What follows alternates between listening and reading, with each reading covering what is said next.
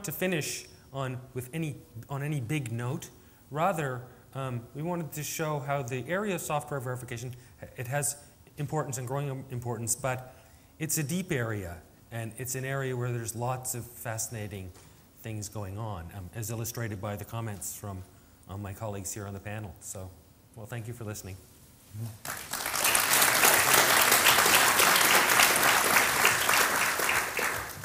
Cheers, guys. Fascinating stuff. So, uh, Peter O'Hearn there with Andy Gordon, Jasmin Fisher, and uh, Byron Cook. Um, so, there's a really nice kind of flow through the, uh, through the concepts uh, this afternoon. So, uh, in Andrew's keynote, we heard a lot about um, Microsoft researchers uh, expertise in programming, which then led to that discussion on, on verification. And um, we kind of went from failure to F sharp there, I guess, didn't we? Uh, so, uh, and Jasmin obviously was, was telling us uh, all about um, verification in biological systems, which leads us very nicely on to uh, Stephen uh, Emmott's work. Um, he's head of the uh, computational science group uh, at MSR, as we heard there in, in, the keynote. He's also Professor of Computational Science at uh, Oxford. And he's going to pick up on and, and develop the biological theme, um, telling us a little bit more about what to me is an absolutely fascinating area, um, seeing sort of biological entities as, as, as computing uh, structures. So, uh, so let's hear now from, from Stephen. Here he is.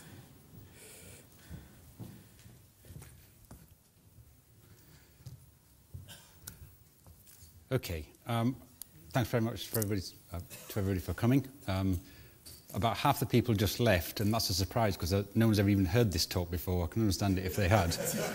um, so, um, so, in the next 15 minutes, in fact, 14 minutes by the time I've said this bit, um, I want to try and do my best to convey three simple ideas that we're working on in my lab, uh, and principally through Andrew Phillips's work, uh, uh, who, uh, Andrew Blake mentioned earlier. Um, and the first is, um, it's all going to be a very high level, apologies. So the first is that there's going to need to be a transformation, the sooner the better, of the way in which we think about biology. Uh, and ultimately, um, understanding complex living systems is going to require us to think about biology as computation.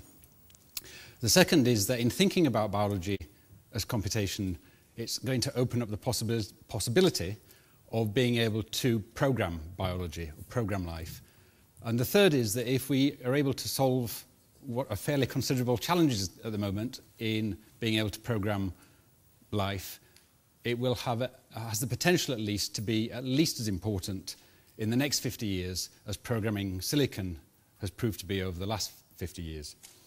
So with my 14 minutes, or my watch says three, but I think we're running over, um, I'll sort of crack on if I can find what to do. So, um, so uh, why life as computation? Um, well, I think to put this into context, for about the last 50 years or, or more, depending on uh, your point of view, uh, the biology community has really focused on thinking about biology as, a, as an increasingly bewildering array of parts. Uh, and it's important to point out that typically the biologists, and I am one, so I feel as though I can, I'm happy to be, I'm to be as critical of my own community as I need to be. Um, the, the biology community have increasingly thought about those parts and studied them either outside of the system in which they operate or in a system that's not working properly, i.e. a disease system, or in a system that's dead, and that's not that helpful. Um, and over the last 10 years, um, I suppose the systems biology community or the systems biology domain has really kind of tried to extend that by, by looking at the interactions between those parts equally in systems that typically uh, either not working properly or a system that's dead, uh, or in, uh, looking at those interactions outside uh, the, the system in which it normally operates. Now, this so-called spectacular success of molecular biology over the last 50 years has resulted in the fact that we don't even still know how a cell works. Um, and that's not surprising given the fact that using the same sorts of approaches, we would never learn uh, how a radio works.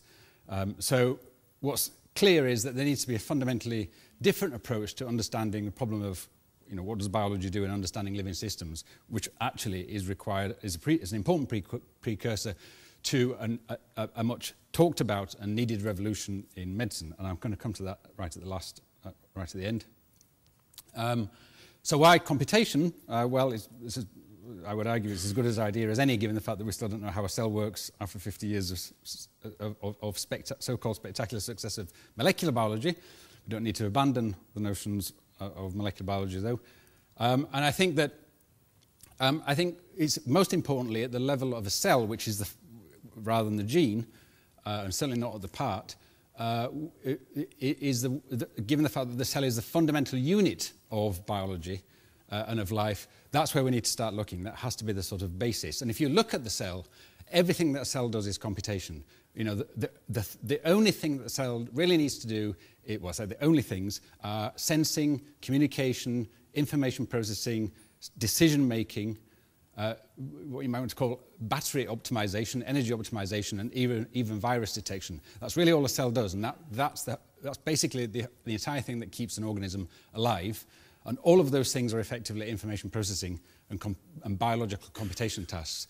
In short, there's no survival without computation uh, for a cell or an organism. Um, so the molecular machinery uh, for implementing all of those computational, those biological computational tasks are contained uh, in a, what you might call a molecular program. Uh, and for the, for the argument's sake, for this talk, let's just say that the, the principal molecular machinery is DNA. There's, there's, a discussion to be had about RNA, RNA and a range of other proteins, but that's not for this talk. Um, and um, so before I sort of get into the talk, there's a number of interesting things that I just, a number of important things I just want to say quickly about the difference, and they're obvious things, between digital software and what you might want to call living software. The first is that you know, the last 50 years of digital software has been based upon this sort of ones and zeros uh, running on silicon that runs in your hardware. The living software that's your cell has uh, four letters, uh, four amino acids, um, and they're either paired in, in CG or AT, uh, uh, and that's very, that's very looks very different from the way in which we think about computers today. But, but we've got you know six point something, 6.7 billion proofs of concepts that, that biology does computation very well, which is sometimes very different sorts of computation. Um, every one of those cells, you, you've got 10 to the 15 cells. Every one of those cells has 3 billion of those base pairs that I talked about, CG or AT. Um, that means that there's two meters of DNA packaged into six micrometer package, which is uh, the chromosome. Um, and so what does it do? Well, first of all, it does program self-assembly. So you go from this molecular program via a stem cell to the assembly of 10 to the 15 living computers, uh, so that's you and me, uh, in this remarkable, uh, this remarkable sort of process where the software creates the hardware effectively. So you imagine buying Windows 8 all you have to do is take it home and unwrap it, and it actually builds your laptop. That would be, that would be great. Um, it might cost you a bit more than it does now, but uh, that's fine. Um, so uh, the other thing it does is, of course, is a, is a wide range of, of uh, biological computation tasks. I'll just mention two in the interest of time here. First is um, it, your, your, immune system is basically an excellent uh, uh, biological computational system.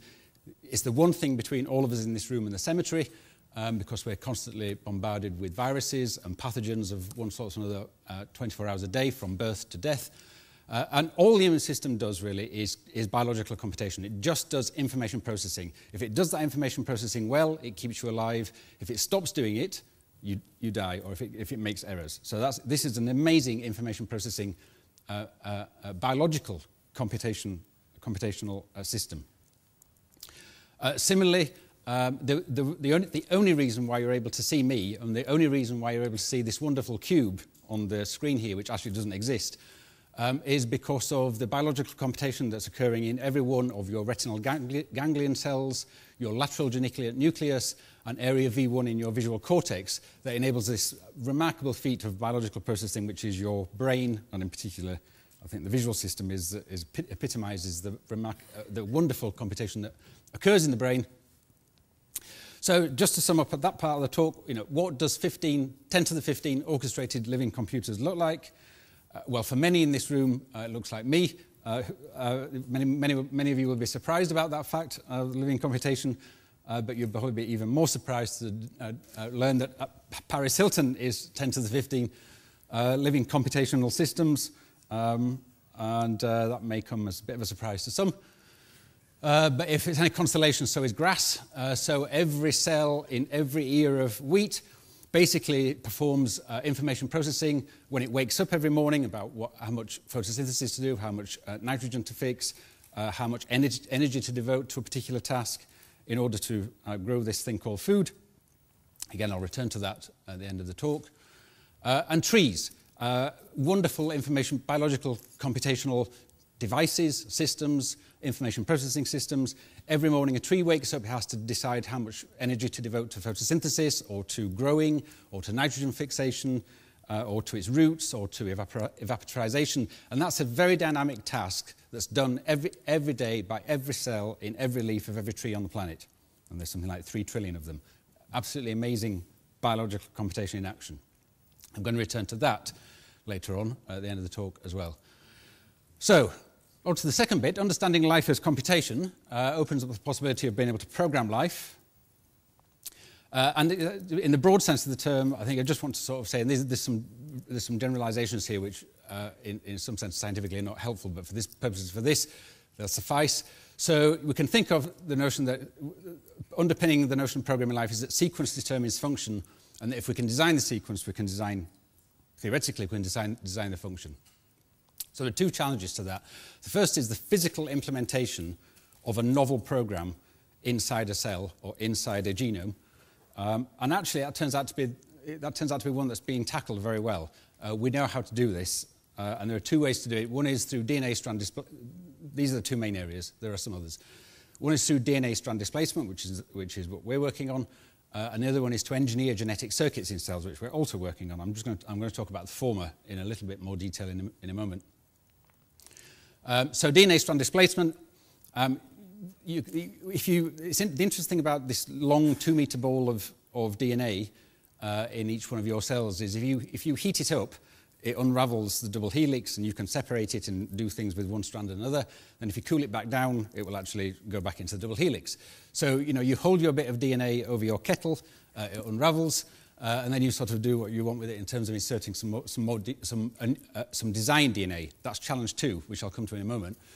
Uh, so what this really means, in a bit more formally, is uh, the, consequence of what's called Watson-Crick duality um, is that uh, pairs will only uh, hybridize, meet together, if they're actually going to perform some function, and they can do, and, uh, and, and, and, can perform some function. If they don't, like the pairs don't match, they just won't do it, so it, will, it, will, it, it, will, uh, uh, it, will, it, will, it won't bind. So, DNA is also um, separated into two domains. One is called a short, short strand of DNA, which is called toehold DNA, which is what the T is here, and the other one is what's called, uh, like in this, let's call it body DNA or specialized DNA, uh, which is much longer sequence of base pairs. And if you want to do DNA strand displacement, you get your DNA over a kettle, you unwind it, um, and then what you, can what you can do is, in the top bit here, we, we, have, ha we have our, let's say, let's say that's our designed bit of DNA that implements some function, and we want to replace the design bit, so we want to replace the, the ordinary bit, which is the bit on the bottom, with the design bit, which is on the top. So what we can do there is, and, and each pair has a complementary base, which is what the T symbol is. So what we can do is, if, if the DNA is going to do something, the design DNA, you it, it, the toehold, um, it will bind it through the toehold part of the, of the strand and then go towards uh, fully migrating.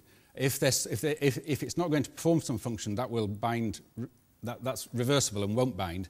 But if it is going to perform some function, it will bind and then displace the original strand, and you're left with a new strand of double helix DNA, which is your designed part, which should do something novel in terms of function. That's a simplification, but that's basically it. Challenge two, which is the biggest challenge, um, is the design of new function itself. And that's, the, that's our primary focus. We do do DNA strand displacement, but the biggest challenge, and if solving this one would be a, would be a massive uh, uh, advance in our ability to, to program life, is how can we design, or how do we do the rational design of new function?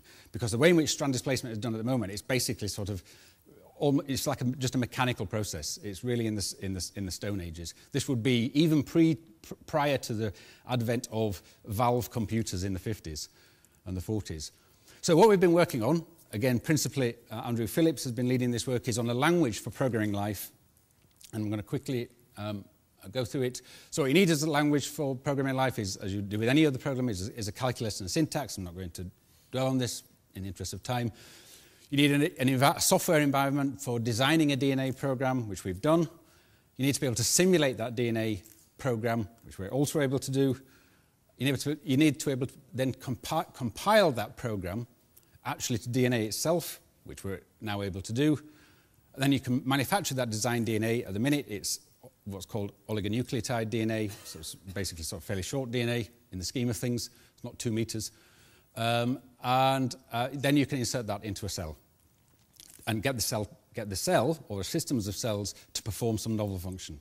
And we're, we are able to actually get cells, living systems, to perform some novel function. It's fairly simple novel function at the moment, um, but it's very early days. I mean, say just, just cracking this challenge is, is, a, is a big advance. Um, so just to conclude, um, programming biology, so we're, very, we're all very excited about all of that lot, even though there's lots of challenges uh, still, un, still to, be, um, to be overcome.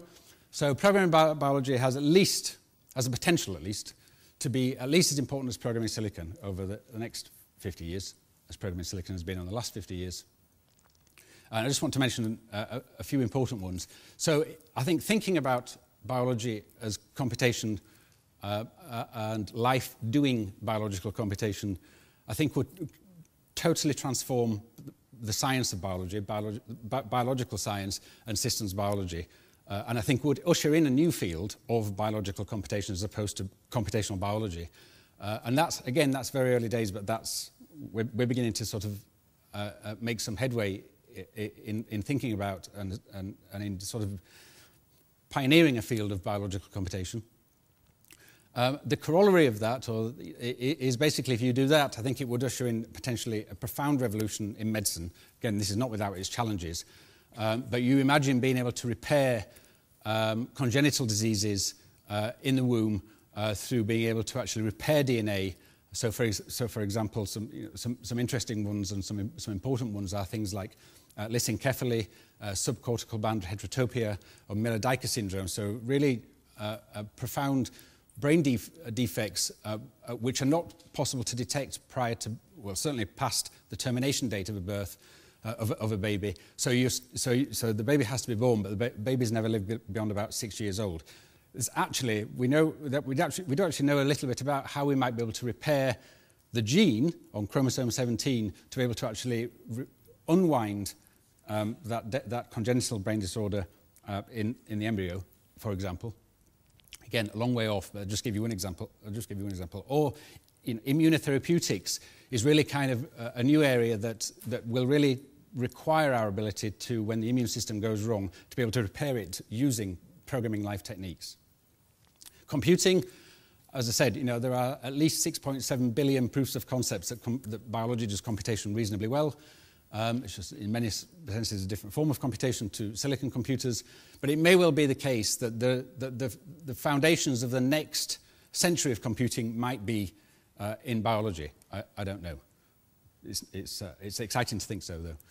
Energy, you know, in, by, the, by 2040, there's going to be 9 billion people on this planet, and currently there are no known ways, unless we start building um, a nuclear power station every week, uh, which isn't happening currently, of how we're going to power the planet uh, with 9 billion people on it.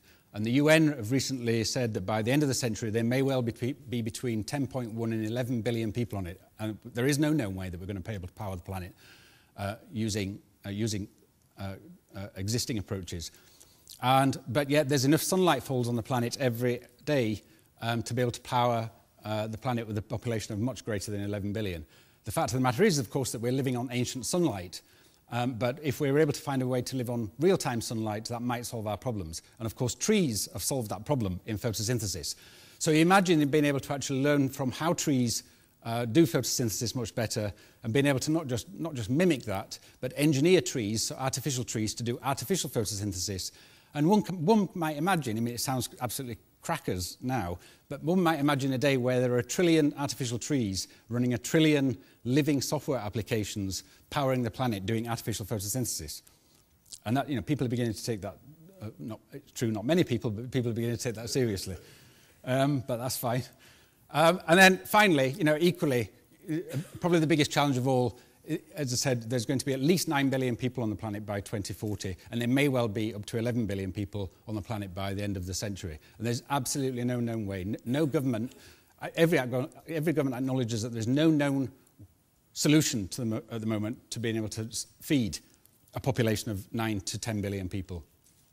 So whilst it's, all, it's very nice of us in the, in the, the West, the developed, uh, developed nations, to think that we don't need to think about engineering foods for a population of, uh, of even 6.7 billion, uh, there, you know, there are, are already one and a half billion people who don't have enough food every day, and it's estimated that that may well be over 3 billion people by the middle of the century. So we do urgently need to think about ways in which we can engineer food for a, a burgeoning planet and programming crops uh, uh, to be able to be more resistant to a drought uh, and more an increased yield uh, in ways that are not currently possible is something we have to consider and may well uh, prevent uh, a catastrophe by the end of the century of billions of people starving to death.